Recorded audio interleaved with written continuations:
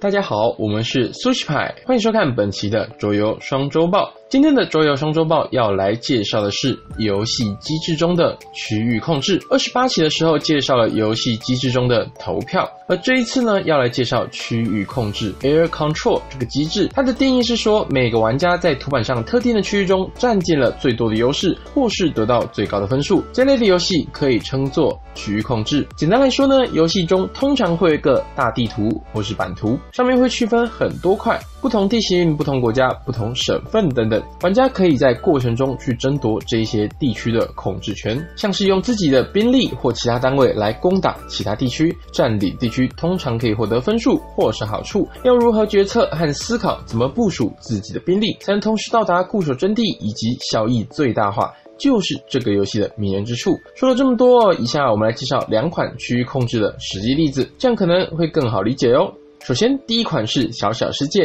经典的区域控制游戏，二零零九年出版。今年刚好是它出版的十周年。游戏中的玩家们扮演着想要征服小小世界的侵略者，选择自己适合且喜欢的种族以及特殊能力，例如会飞的尸鬼或是会游泳的矮人等等，侵略这一块土地来赚取金钱。游戏结束后，最有钱的玩家就会获得胜利。过程中，玩家透过选择种族跟能力来获取兵力，通常越强的能力，兵力越少。反之亦然。从版图的边缘开始向中心进攻，每攻下一块地，就会为自己带来一元的收入。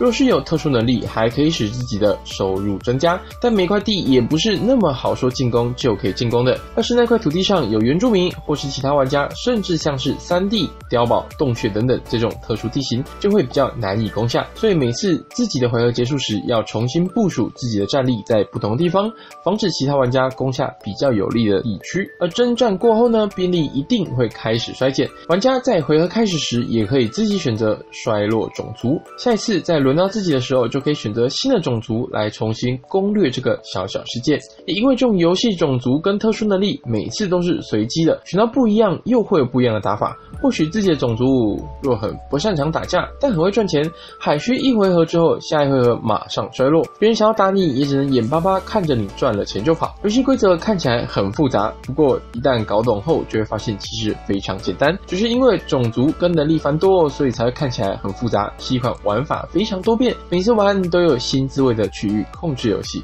第二款要介绍的是《旭日战魂录》，一款有谈判、有战争的区域控制游戏，是三十四期双周报中有提到的 Simon 出版的桌游。哎，既然提到 Simon，代表游戏中的模型一定很精致，对吗？没错，游戏中的配置真的非常精致的，每个妖怪战斗力不仅很强，外观也都很惊人。这个时候我应该不用多说话。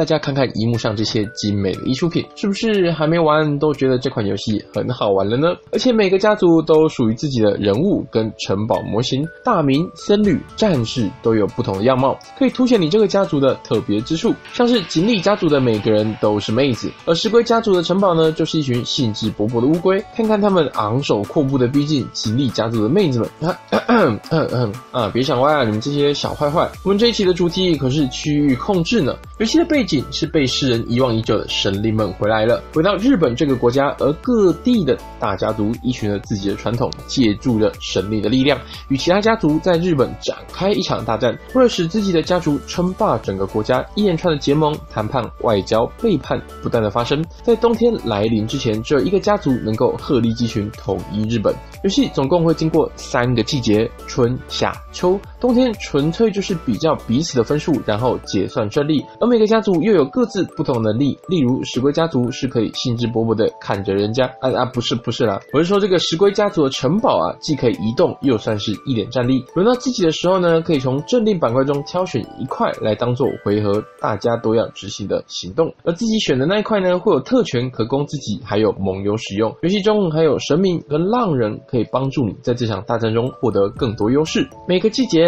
的结束就是要打架，只要是自己占有的区域就要参与战斗，获胜的话呢，就可以得到该地区该季节的分数板块。输掉那个区域，你的兵力就会全部被消灭。游戏结束后，分数最高的就获胜了。拿着这么精致的模型玩游戏，非常有身临其境的感觉。游戏中需要思考的地方不会太难，但蛮多的。早算到一个地方，就会发现自己的策略很难规划。例如在第一场打架就大傻币，把所有的钱币花光，接下来每场战役根本没有筹码跟人家打架，又或者是选错战术，不仅达不到自己想要的目的，还被对手灭了全部的兵力，得不偿失啊！是一款很烧脑但却很好玩的区域控制游戏。上述介绍这些区域控制游戏，你玩过哪些呢？又或者是哪些你也觉得区域控制游戏很不错，我们没有介绍到的，都可以在下方留言给我们哦。好的，以上就是本次的桌游双周报的内容。如果喜欢这支影片的话，可以按个喜欢。如果想要收到更多的桌游资讯，欢迎订阅我们的频道。数据牌桌游双周报，我们下下周见，拜拜。